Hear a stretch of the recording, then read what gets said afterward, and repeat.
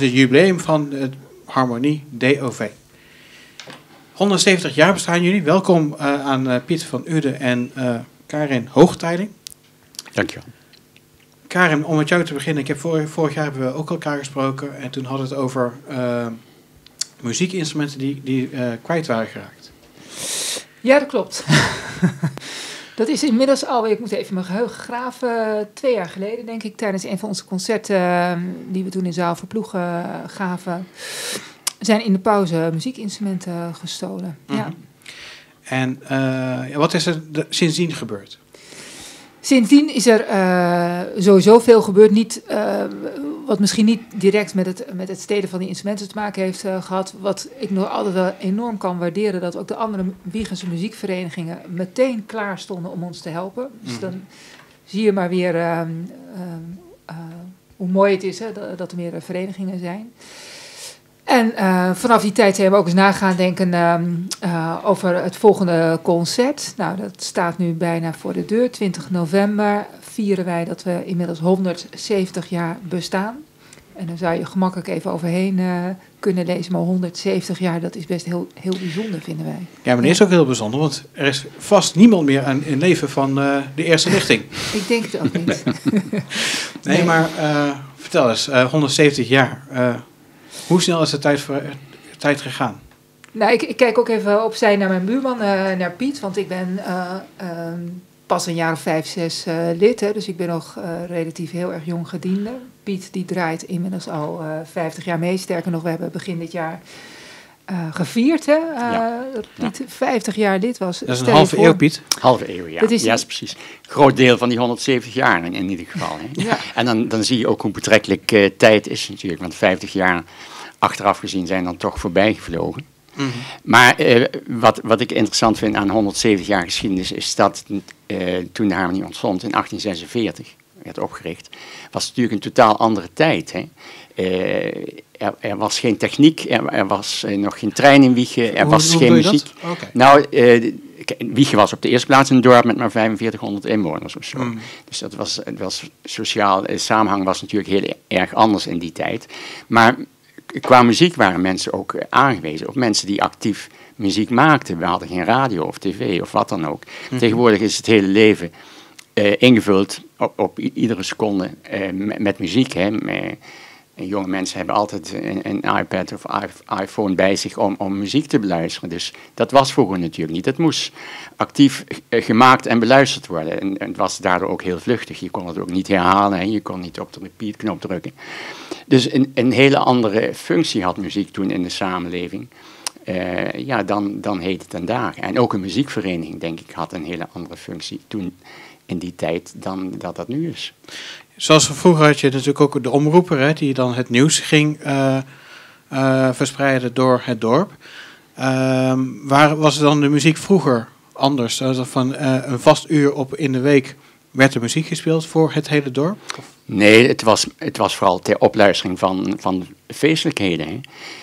Kerkelijke feestelijkheden, processies, maar ook bruiloften of andere feesten die gevierd werden in het dorp. Jubilarissen of als, als militairen terugkwamen uit, uit Oost-Indië of wat dan ook. Al, allerlei gelegenheden waarbij muziek gewenst was en een beetje tamtam -tam gemaakt moest worden. Dan stond de harmonie natuurlijk daarbij vooraan om, om acte de présence te geven. Dat, dat is uh, Maar dat zie je nog steeds. Dat is nu anders. Je ziet uh, de harmonie bij Sinterklaas. Ja, maar ja, wij, wij doen dat uh, al, al niet meer zoveel. Ook, ook bijvoorbeeld met de carnaval is daar ook een goed voorbeeld van. Vroeger waren er altijd veel meer muziekkorpsen in een, in een carnavalsoptocht.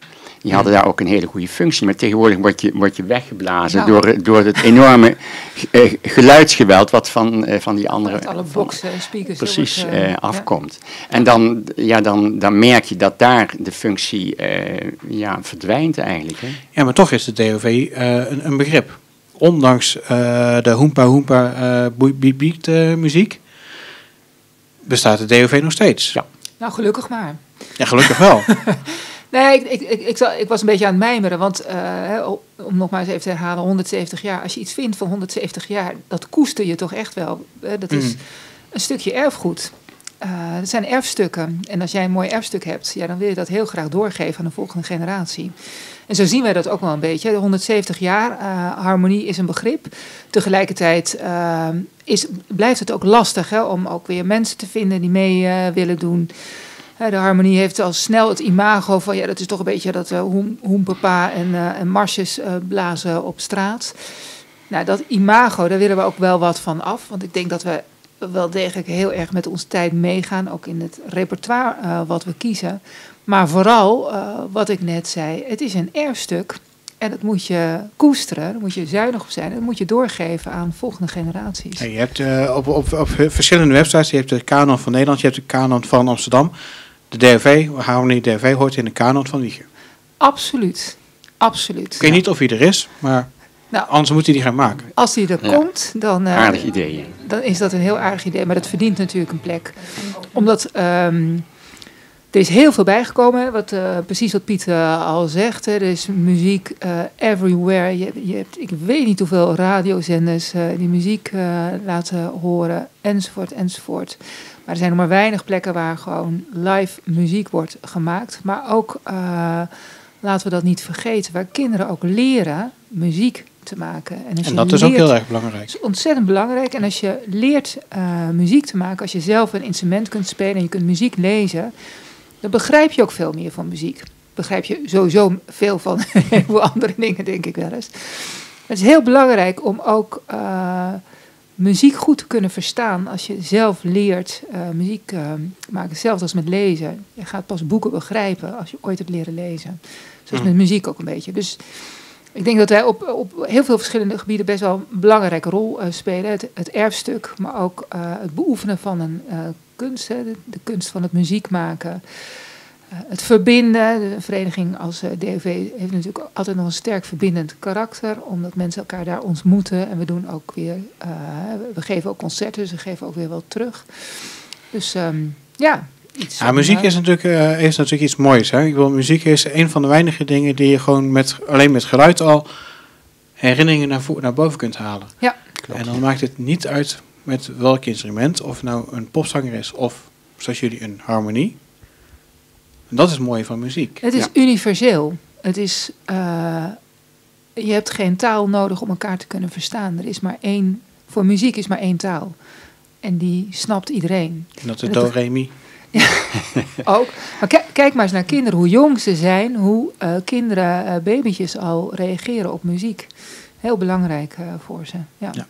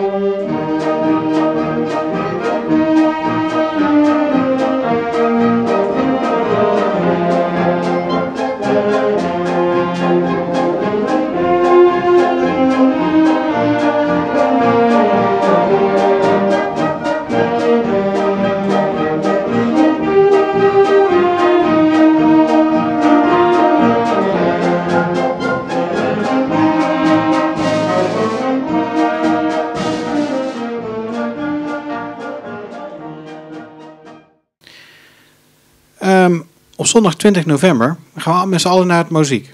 Tuurlijk. Tuurlijk. Daar hopen we. Ja. Want wat gebeurt er op die, die dag? Dan is het concert, hè? Dan is het concert. Ja. Um, wat is er nu anders aan het repertoire wat jullie op die dag gaan uh, doen met uh, ja, 170 jaar geleden? Nou, er is heel veel. Ik kijk even naar Piet. Ja, 170 jaar geleden was jij er ook niet bij. Maar misschien 50 jaar geleden, dat kun je je misschien nog wel herinneren. Nee, maar Eh, ik, ik, ik- kijk, 170 jaar geleden was, was eh, harmoniemuziek, dat bestond vooral uit, uit bewerkingen van operettes en zo. En Ah, klassieke werken die, die eh, aangepast werden voor, voor een, een blaasorkest. Hè, want de meeste muziek werd geschreven voor symfonieorkesten natuurlijk. Dus je had vooral een, een, ja, een, licht klassieke muziek werd vaak gespeeld. En wat marsen voor op straat. En eh, tegenwoordig hebben we eh, ja, een scala aan muziekwerken die we kunnen maken. We kunnen nog steeds bewerkingen van klassieke muziek eh, spelen. Doen we ook. We hebben een paar klassieke nummers. licht klassieke opera's. Maar je hebt ook heel veel filmmuziek of musicalmuziek tegenwoordig. Popmuziek. Eh, wat, wat jazzy-achtige muziek. Dus ja, alle stijlen die kun je eigenlijk eh, spelen op, met een blaasorkest. Hè. Dat, eh, dat is geen enkel probleem. En ons programma op eh, 20 november ja, laat een keur aan, aan stijlen en eh, muziekwerken zien. Maar wat is jouw favoriete stijl, muziekstijl? Ik hou vooral erg veel van, van Latin-achtige muziek. Dus eh, swingende Latin-muziek vind ik heel erg inspirerend. Maar dat is ook heel erg moeilijk, want het vergt eh, de nodige techniek en, eh, Maar dat is meer, en ritmiek. maar dat is meer eh, voor de percussie, toch? Dat hoort erbij, maar in, in de, de blazers hebben daar ook een hele belangrijke rol in. Hè. Dat, eh, met, met name trompetten en zo, die, eh, die, die signalen geven, dat, dat zie je heel vaak ook met bijvoorbeeld Sergio Mendes en zo. Hoe, hoe, hoe spits dat gespeeld moet worden en ha- hoe accuraat. En altijd net na de tel, dus het is, is heel erg moeilijk om de juiste timing daarvan te vinden. Maar ik vind het wel heel leuk om, om te doen, ja. Maar je ziet het op YouTube, zie je heel veel van dat soort eh, films. Ehm, eh, wat mij is bijgebleven eigenlijk is toch wel André Rieu, die dan, maar dat is dan toch weer anders dan wat jullie doen, eh, met zijn, heel, zijn orkest naar Mexico gaan. Nou, het zal het zijn. Ja, ik denk dat, mm, eh, om eh, toe te voegen dat het kenmerk van zo'n harmonieorkest is een, een blaasorkest is wel wat toegankelijker dan het gemiddelde symfonieorkest, ook om Mm. mee te kunnen doen. Dus je kunt, ehm, je kunt heel veel met een harmonieorkest. eh, je kunt eh, dus heel veel verschillende stijlen spelen. Maar er is eigenlijk altijd wel een instrument eh, wat mensen eh, in redelijk betrekkelijke korte tijd eh, leren spelen. Dat is toch wat anders dan met een symfonieorkest. Dus het beeld dat ik bij het symfonieorkest heb, dat is een beetje dat is hogeschoolorkest. en de harmonie is een heel toegankelijk orkest waar iedereen alle lagen van de bevolking aan mee kan doen. Ja. Ja, precies. Want eh, het beeld wat ik heb bij een harmonie, eh, kijk, uh, André is meer voor het, het, uh, ja, het chique, zeg maar, Ja. hè, met die violen. Terwijl een, een harmonie, dat vind ik lekker feestelijk. Lekker zwingend over Ja. de straat met, met de optocht Meelopen. het, het is heel erg toegankelijk, dus mensen herkennen daarin. Het is, uh, ik bedoel daar helemaal niks uh, verkeerds mee. Het, het, is wat volkser. André Rieu weliswaar ook. Die wordt soms ook wel een beetje beschimpt. Hè, de manier waarop hij met zijn muziek uh, omgaat. Zeker door de, de, de, de grote orkesten. Uh, aan de andere kant denk ik wel dat hij ook uh, weer een markt gevonden heeft voor klassieke muziek. Dat mensen wel weer naar die muziek zijn gaan luisteren. Juist door André Rieu. Dus hij heeft er wel belangrijke rol in gespeeld. Maar ik vergelijk ons als harmonieorkest zeker niet met een, Nee, uh, een andere. Dat niet, maar is het meer van het feestelijke gebeuren wat, wat hij ook uh, gaat... Dat denk ik niet specifiek. We kunnen, we kunnen ook hele serieuze werken spelen natuurlijk. Of, of in, in, in de kerk tijdens een kerstviering of zo uh, mm -hmm. onze bijdrage leveren. Dus het, het hoeft niet altijd feestelijk uitbundig te zijn.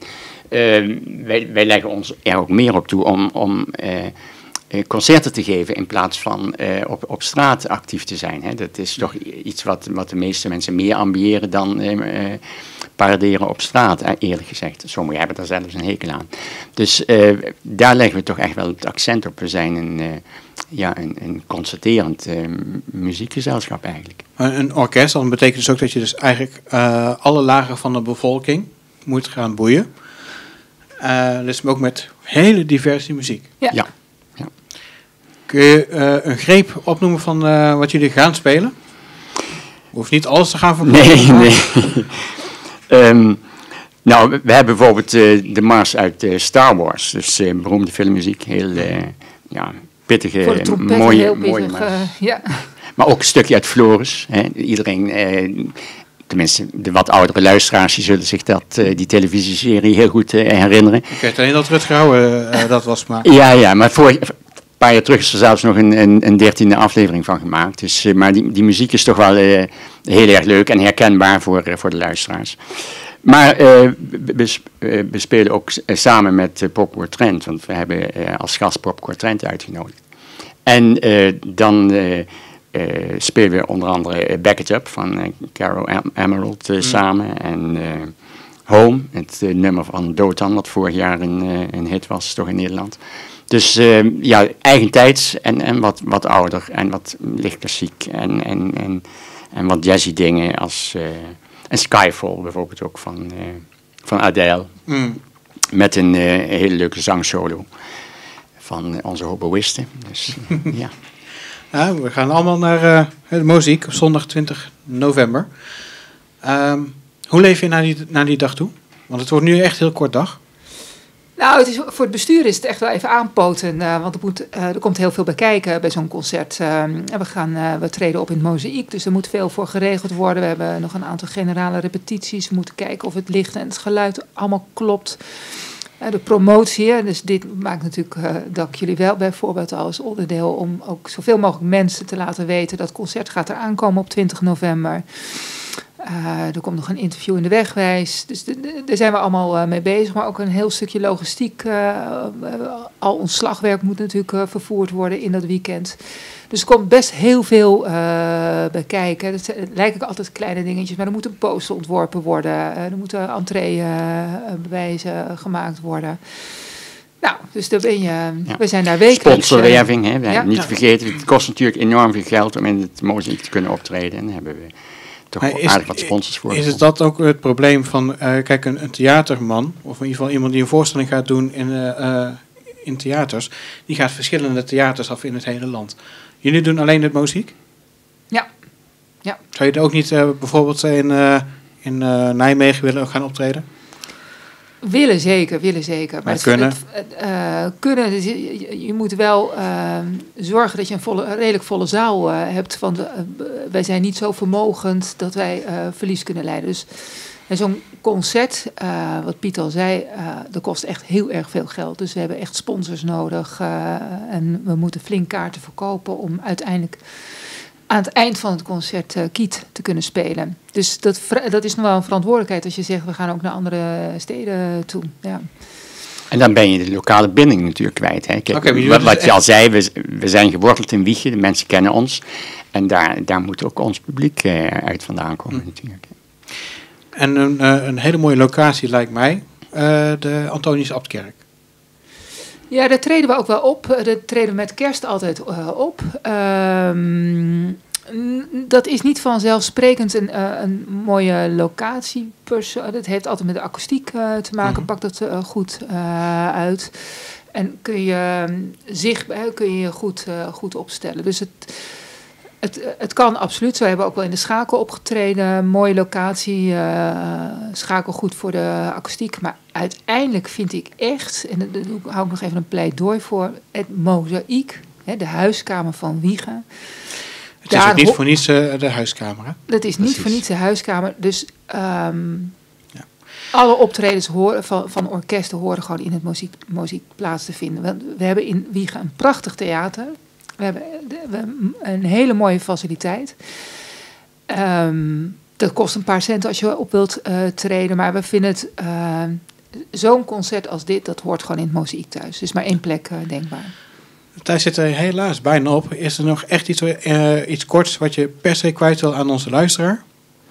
Nou, ik, ik wou nog graag even vertellen dat we met een heel groot orkest optreden. We zijn met, met 50 muzikanten en een koor erbij. Dus het is, het is best wel een spektakel. We hebben oudspelers benaderd, we hebben wat gastspelers erbij.